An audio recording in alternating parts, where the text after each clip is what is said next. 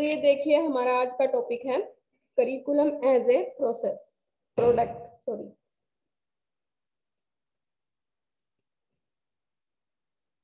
पाठ्यक्रम एक उत्पाद के रूप, ठीक है? ये भी, जो हमारा था, पाठ्यक्रम डेवलपमेंट था। साथ साथ बताते रहते हैं। हेलो यस मैम हाँ जी। जो हमारा पाठ्यक्रम था उसका जो डेवलपमेंट थी वो उसके दो पार्ट होते हैं। Curriculum as a process curriculum as a product ठीक है? कल कुछ बच्चों को आवाज़ भी कम आ रही थी दिक्कत हो रही थी तो वो आपको समझ में आया था कल वाला क्वेश्चन था जो?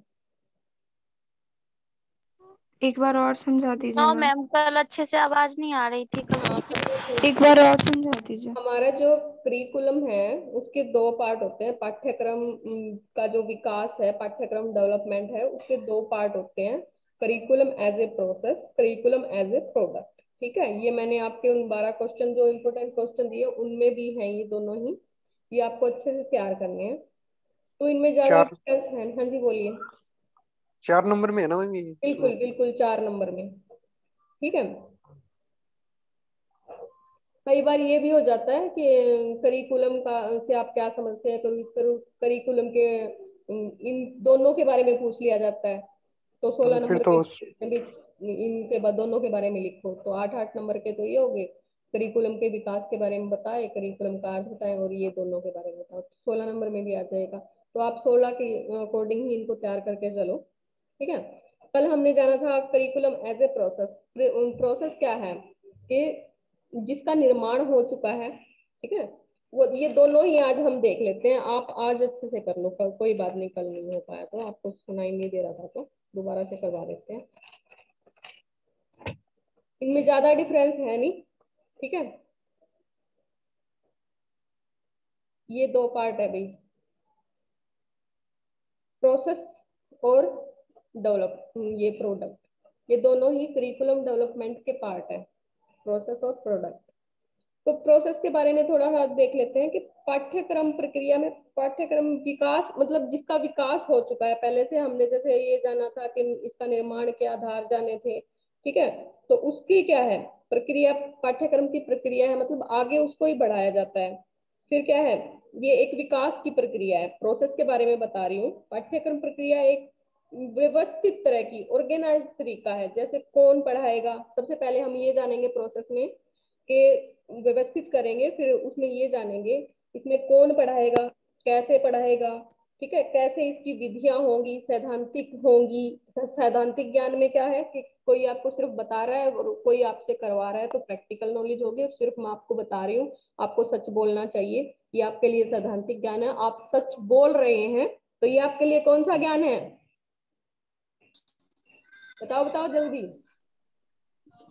प्रैक्टिकल नॉलेज हाँ आप व्यवहारिक नॉलेज है प्रैक्टिकल नॉलेज क्योंकि आपने उसको उसका मतलब उस ज्ञान का क्या कर लिया? उस ज्ञान को उस नॉलेज को अप्लाई कर लिया। तो आपके लिए वो क्या हो गया क्या होगा? प्रैक्टिकल नॉलेज होगी। ये साथ साथ हम करते जाएँगे। इसमें फिर हम क्या जान रहे थे कि यहाँ पे ये देखेंगे प्रोसेस में कौन पढ़ाएगा कैसे पढ़ाएगा कैसे मतलब टीचर कैसे होंगे उनकी क्वालिफिकेशन कैसी होंगी वो पढ़ाने के लिए कैसी टेक्निक्स मतलब यूज़ करेंगे, सैद्धांतिक तरीके से पढ़ाएँगे या व्यवहारिक तरीके से पढ़ाएँगे, हमारे पाठ्यक्रम में मतलब एक्टिविटीज़ को भी शामिल करेंगे या नहीं, ठीक है? तो इन चीज़ों को देखा जाएगा। ये क्या होते हैं? मेन एलिमेंट्स जो होते हैं हमारे पाठ, हमारी शिक्षा के होते हैं सिलेबस बच्चा, शिक्षार्थी मतलब स्टूडेंट और टीचर देखो भाई, आप म्यूट कर लिया करो। आपको कोई डाउट हो तो आप म्यूट करके पूछ सकते हो। वरना आपको भी देखो, वो हो जाती है प्रॉब्लम और बीच बीच में जाती है। तो अगर ये ही तीनों चीज़ हमारी सही नहीं होंगी, पढ़ाने वाला सही नहीं होगा, हमारा पाठ्यक्रम सही नहीं होगा, पढ़ने वाला सही नहीं होगा, सीखने वाला इनको दिक्कत आ रही तो इनसे क्या होगा? सब एक दूसरे पे को प्रभावित करेंगे इफ़ेक्ट डालेंगे। तो यहाँ पे क्या है, जब करिकुलम का विकास किया जाता है तो समाज को, ठीक है, समाज को, समुदाय को और बालक की किन चीज़ों को ध्यान में रखा जाता है? बताइए। बताओ जल्दी। ऐसे नहीं भी तुम बताते हो। बताओ बताओ बताओ। और किन चीज़ों को ध्यान में रखा जाता है? अंकित।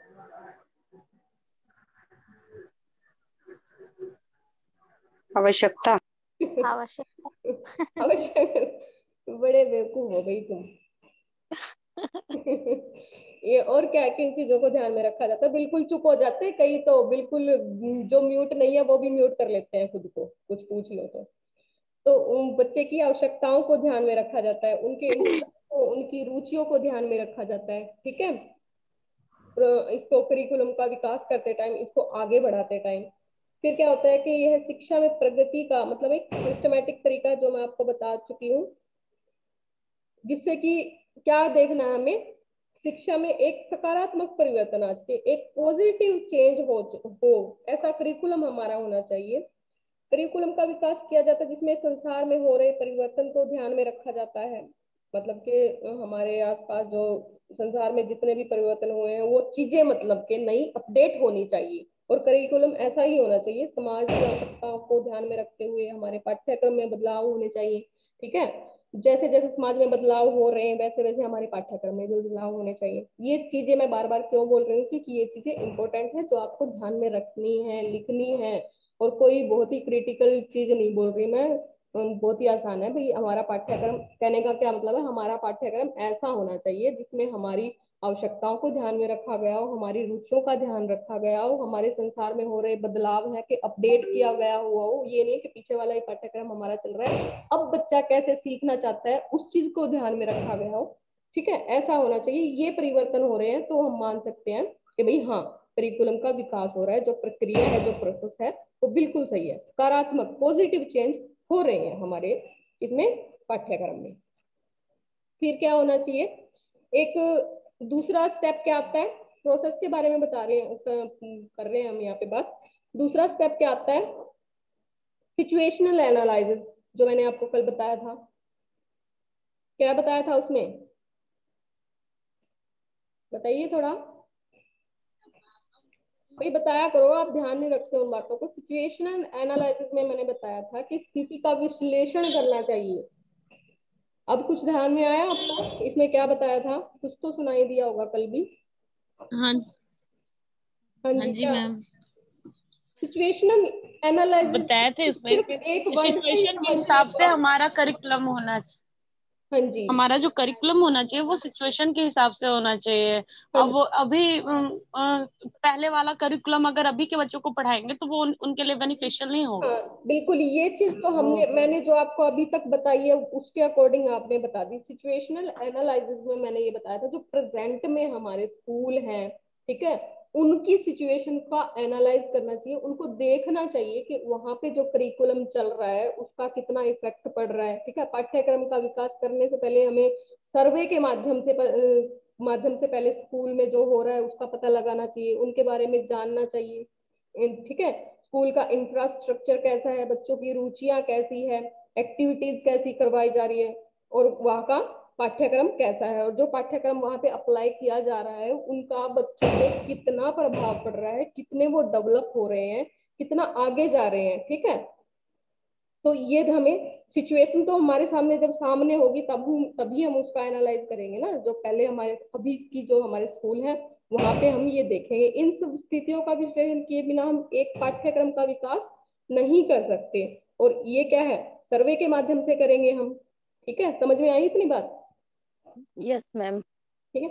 कल वाले में और आज वाले में ज़्यादा डिफरेंस नहीं है। फिर फिर भी हमें पीछे वाला अच्छे से समझ के फिर ही आगे जाना चाहिए। कल आपको आवाज़ नहीं आ रही थी। फिर क्या है? स्थिति विश्लेषण में ध्यान में रखने की बातें क्या होती है कि हमारी जो सिचुएशन एनालाइज हम कर रहे हैं वहाँ पे, हम किन किन बातों को ध्यान में रखेंगे कि कहाँ समस्या है? अगर हमें जो जो मैंने अभी बताया था पॉजिटिव मतलब वो नहीं लग रहा रिस्पॉन्स नहीं मिल रहा पॉजिटिव परिवर्तन मतलब कि सकारात्मक परिवर्तन पॉजिटिव चेंज नहीं हो रहा तो हमें यहाँ पे देखना है कि भाई बच्चा सीख नहीं रहा है, कोई फ़र्क ही नहीं पड़ रहा। तो यहाँ पे हमें देख रहा है, देखना है कहाँ समस्या है, ठीक है? जहाँ हम स्थिति का विश्लेषण करेंगे सिचुएशन एनालाइज करेंगे तो वहाँ पे हमें पॉइंट्स को किन को ध्यान रखना है कि कहाँ समस्या है, उनका, उनके क्या क्या मतलब सॉल्यूशन हो सकते हैं, हल क्या हो सकता है कहाँ कहाँ हम क्या क्या बदलाव कर सकते हैं ठीक है? भाई कहाँ कहाँ ज़रूरत पड़ रही है बदलने की? कठिनाइयों को कैसे पहचान सकते हैं हम? कठिनाइयों को पहचानना होता है हमें। कहाँ दिक्कत आ रही है? किन चीज़ों की आवश्यकता है? फिर देखना कि किन चीज़ों की आवश्यकता है। कठिनाई का हमने भी कहाँ दिक्कत आ रही है? ये प्रॉब्लम को जान लिया। फिर देखना कहाँ भी किस चीज़ की आवश्यकता है? किन नियमों में बदलाव करने चाहिए और किन नियमों को हटा देना चाहिए? ठीक है? ये देखने सिचुएशन मतलब जब हम स्थिति का विश्लेषण करेंगे तो पहले हमने स्थिति का विश्लेषण किया सर्वे के माध्यम से, स्कूलों में सर्वे करवाए गए कि क्या क्या एक्टिविटी हो रही है, उनके क्या फ़ायदे मिल रहे हैं इफ़ेक्टिव है भी या नहीं, ठीक है? इफ़ेक्टिव नहीं है तो वो क्यों है? लिस्ट एक एक लिस्ट आउट करवाई, फिर हमने देखा कि हम यहाँ पे क्या क्या बदलाव कर सकते हैं, ठीक है? मेन मतलब है कहने का इतना सा ही। फिर क्या आता है? एम्स गोल्स और ऑब्जेक्टिव्स जो हमने करिकुलम में हमने जो बना दिया सिचुएशन को एनालाइज कर लिया, फिर हमने ये देखा, हमने ये पूछा, क्या एम्स थे हमारे? गोल्स क्या थे? ऑब्जेक्टिव्स क्या थे? फिर हम देखेंगे जो हमारा मुख्य उद्देश्य था, ठीक है? भाई, जो सिचुएशन हमने देखी, ये सिचुएशन देख ली। भाई, ये ये बात थी, ये प्रॉब्लम आ रही थी। फिर हम इससे पूछेंगे, हमारा उद्देश्य क्या था यहाँ पे?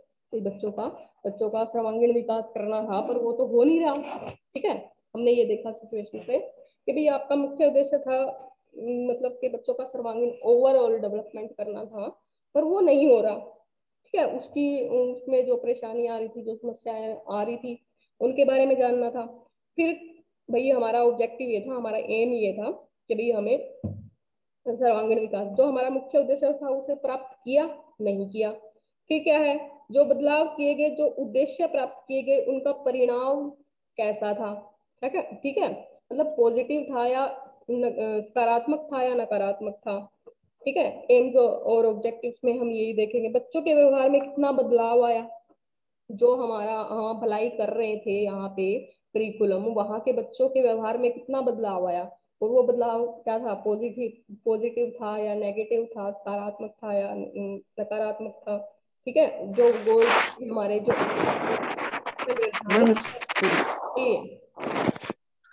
स्क्रीन में सिर्फ़ क्वेश्चन ही शो हो रहा है आप आंसर शो ही नहीं हो रहे। ये बेट ये मैं कल वाला बता रही हूँ जो अब तक बता रही हूँ अच्छा। वो कल वाला बता रही हूँ कल बच्चों को दिक्कत आ रही थी आवाज़ साफ़ नहीं थी इसलिए वो मैंने पीडीएफ यहाँ पे शो नहीं की। आज का टॉपिक अभी मैं करवाऊँगी इसलिए थोड़ा फास्ट जल्दी जल्दी बता रही हूँ। ठीक है? मैम आज ढाई बजे फिर सेकेंड पेपर का क्लास है क्या? हाँ जी हाँ जी। इसके बारे में सुन लो थोड़ा सा प्रोडक्ट एज ए क्या बता रही हूँ? प्रोसेस दो भाग होते हैं डेवलपमेंट के, जो हमारा करिकुलम डेवलपमेंट के दो भाग होते हैं प्रोसेस और प्रोडक्ट अभी मैं प्रोसेस के बारे में बता रही हूँ। ठीक है, ये हमने देख लिया कि जो हमारे उद्देश्य थे, उनको हमने प्राप्त किया, उनसे बच्चों के व्यवहार में कितना परिवर्तन आया, कि कैसे कैसे चेंजेस आए बच्चे के बिहेवियर में। अगर जब हम कुछ सीख लेते हो तो वहाँ, वहीं पे हमारे व्यवहार में परिवर्तन आता अगर नहीं सीखते तो उसका कोई फ़र्क नहीं पड़ता।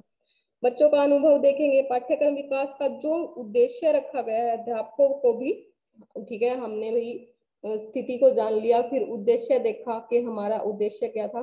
तो हम क्या, यहाँ पे क्या कहेंगे कि जो उद्देश्य रखा गया था, अध्यापकों को भी बच्चों को उसी तरह से प्रेरित करना चाहिए, मोटिवेट करना चाहिए था, ठीक है, जिससे कि बच्चों के, बच्चों को भी एक डायरेक्शन मिल सके, जो उनके एम्स थे, जो उद्देश्य थे, उनको एक दिशा प्राप्त हो हो सके। ठीक है, ये था हमारा, फिर लास्ट में क्या है कि फिर वो देखना था कि क्रिया क्रमबद्ध तरीके से हमें सब कुछ ये जानना था, तभी हम इसको संगठित कर सकते हैं। सबसे पहले हमने क्या चेंज किए, फिर क्या चेंज किए, उसको संगठित करना था, फिर लास्ट में क्या था? मूल्यांकन। जो चेंजेस किए हमने प्रोसेस प्रक्रिया मतलब डेवलपमेंट के दौरान, ठीक है प्रोसेस के दौरान, फिर उनका मूल्यांकन क्या होता है? कि उनको जानना। ठीक है? इवेल्युएशन के हमने जान लिया कि उनके जितने भी परिणाम हमारे सामने आए वो कैसे ठीक है? इतना ही होता है प्रोसेस में। आया समझ में?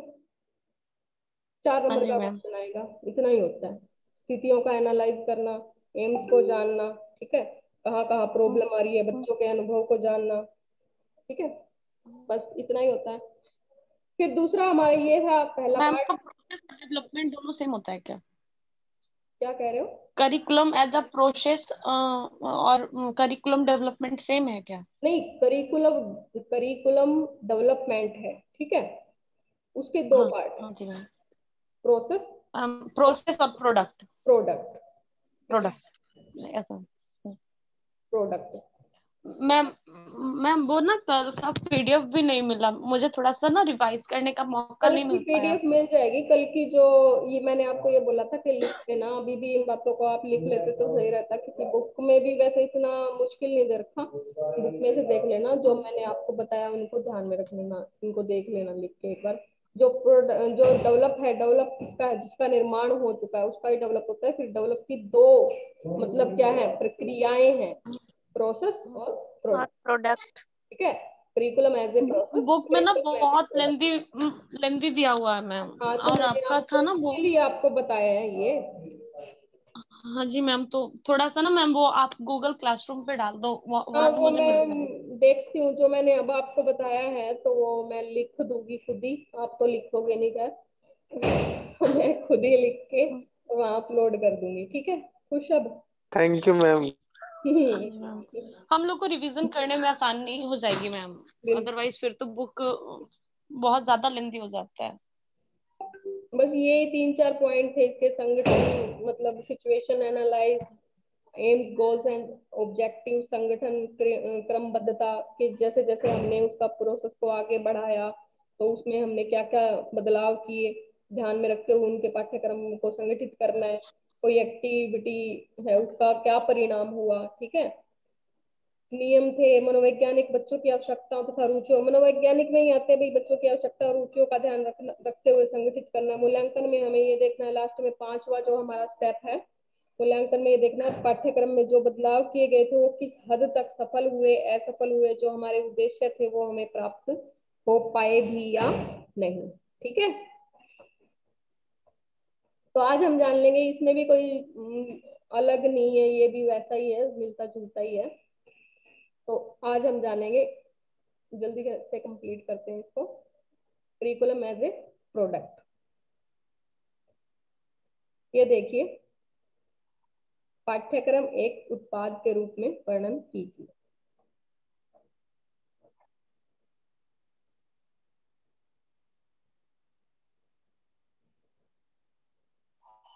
ये भी पीडीएफ अभी मैंने जल्दी जल्दी बनाई थी। इसलिए मैं आपको बता देती हूँ, ये दोबारा बना के डाल दूँगी। हम यहाँ पे देखना, मैं बता ही देती हूँ। ये दोबारा बना के फिर वहाँ आपको ग्रुप में डाल दूँगी। ये कटी हुई है पीडीएफ भी, ठीक नहीं है। ये क्या होता है कि हमने अभी ये जाना, पाठ्यक्रम शिक्षा का मुख्य तत्व है, ठीक है? ये जान लिया। हेलो, आवाज़ आ रही है आपको? यस मैम आ रही है। अब तक हमने ये जान लिया कि पाठ्यक्रम क्या है। शिक्षा का मुख्य तत्व है। स्कोप बहुत व्यापक है बहुत ज़्यादा स्कोप है ठीक है? पाठ्यक्रम के कहने का मतलब ये है कि पाठ्यक्रम के बिना तो कुछ हो ही नहीं सकता। आपको एक कहने का मतलब ये है आपको एक मोटी सी बुक पकड़ा दी जाए उसमें ना कोई यूनिट बनी हुई है ना कोई अलग से बताया गया है इतना इस यूनिट में आएगा इतना इस यूनिट में। तो क्या आप उसको पढ़ पाओगे? इंटरेस्ट ही नहीं ले पाओगे। फिर क्या है टीचिंग और लर्निंग में जो भी इन्वॉल्व होते हैं जो भी चीज़ें बच्चे को सीखना कैसे है बच्चे को अपने आप को आगे मतलब डेवलप कैसे करना है वो सारी चीज़ें किसमें इंक्लूड होती हैं? किसमें इंक्लूड होती हैं? बताओ। पाठ्यक्रम में। पाठ्यक्रम में। करिकुलम में करिकुलम में हमारे सारी वो ही चीज़ें इंक्लूड होती है तो सीखना है बच्चे को आगे बढ़ाना है, उसका सर्वांगीण विकास करना है एक्टिविटी भी सिखानी है, शिक्षा भी देनी है, वो सारी चीज़ें हमारे किसमें इंक्लूड होती है? पाठ्यक्रम के अंदर करिकुलम के अंदर इंक्लूड होती है, ठीक है? फिर हम देखते हैं, उसी क्या ये सबसे रिलेटेड पाठ्यक्रम के दो भाग थे, वो मैंने बता दिए, पाठ्यक्रम डेवलपमेंट प्रक्रिया के दो डेवलपमेंट के जो दो पोर्शन थे, वो मैंने बता दिए curriculum as a process curriculum as a product इस तरह क्या है, पाठ्यक्रम में जो लिखित, पाठ्यक्रम में क्या देखा जाता है? लिखित जो एग्ज़ाम होते हैं ना रिटर्न जो प्रोडक्ट का क्या मतलब है कि एक प्रोडक्ट है, उसके अंदर सारी खूबियाँ जो हमें चाहिए, ऐसा प्रोडक्ट है। तो इस प्रोडक्ट से रिलेटेड आपके आपको जो इसमें चाहिए ना, वो सारी खूबियाँ इसके अंदर मिलेंगी। ठीक है? मतलब कोई भी प्रोडक्ट लगा लो खाने पीने का लगा लो या कुछ भी यहाँ पे क्या है शिक्षा का एक प्रोडक्ट है और ये हमारा क्या है पाठ्यक्रम है। इसके अंदर आपको जो चाहिए आपको अपने बच्चे का जै, को जैसा बनाना है हम क्या देखते हैं भाई बच्चा एक्टिव भी हो खेल भी सके मतलब ऐसी एक्टिविटी भी शामिल होनी चाहिए ठीक है? और सिर्फ़ ये ही ना हो कि बच्चा खेलता ही खेलता रहे एक्टिविटी एक्टिविटी शामिल हो उसको सिखाना भी है पढ़ाना भी है वो चीज़ें भी शामिल हैं इस प्रोडक्ट में। ठीक है? प्रोडक्ट का क्या मतलब है? इसकी विशेषताओं को दिखाना है। इसमें स्पेशल क्या है? वो चीज़ें दिखानी है हमें। फिर क्या है? इस तरह का पाठ्यक्रम जो लिखित एग्जामिनेशन को महत्व दिया जाता है हमारे जो पाठ्यक्रम है ना इस प्रोडक्ट इस तरह का इससे क्या मतलब है? जो प्रोडक्ट ये जो हमारा पाठ्यक्रम है ना एज अ प्रोडक्ट इसमें सबसे पहले किसको महत्व दिया जाता है? लिखित रिटर्न एग्ज़ाम को। ठीक है? उनमें सब सीखने के सभी तरीकों की बजाय मतलब कि बच्चा किन विधियों से सीखता है, उनको नहीं रिटर्न एग्ज़ाम से ये पता लगाया जाता है कि हमारे प्रोडक्ट कहने के रिटर्न एग्ज़ाम ये पता लगाया जाता है कि हमारे इस प्रोडक्ट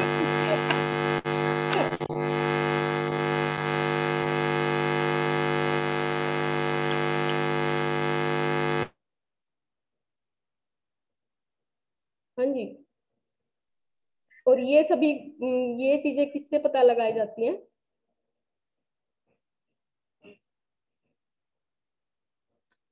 ये सभी इंफॉर्मेशन हमें जो वही, मैंने बताया था कि एक दूसरे से मिलते जुलते हैं, जो स्कूल है, ठीक है? वहीं से हमें पता चलती है कि हमारा जो स्कूल में हमारा जो प्रोडक्ट था प्रोडक्ट क्या था हमारा? पाठ्यक्रम था। उसमें जो जो खूबियाँ थी, वो यहीं से पता उनसे ही पता चलती है, स्कूल से ही, कि भाई उसके अंदर क्या क्या खूबियाँ थी जिससे कि ये देखिए मेकिंग जजमेंट्स और डिसीजंस मतलब कि based on the information collection मतलब जो हमें इंफॉर्मेशन जो हमने इकट्ठा की थी, उन्हीं से हमें पता चलती है कि हमारे प्रोडक्ट में प्रोडक्ट का यूज़ करते हैं प्रोडक्ट वर्ड का यूज़ करते हैं, हमारे करिकुलम में कितनी खूबियाँ थी।